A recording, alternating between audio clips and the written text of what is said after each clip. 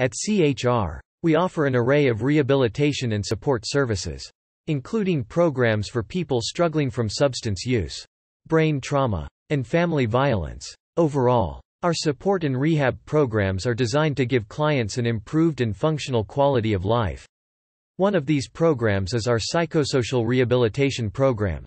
Psychosocial rehabilitation is a form of recovery aimed at helping people who are suffering from mental and emotional illnesses to improve or regain their social abilities.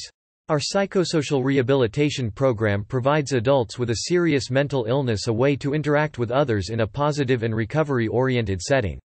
We also help those individuals with a vocational assessment and provide job placement and coaching opportunities as well as peer support in social and recreational activities.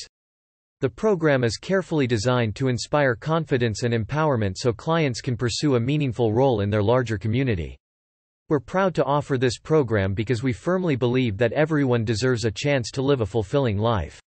Anyone struggling with a serious mental illness should have equal access to programs like this and support in their communities.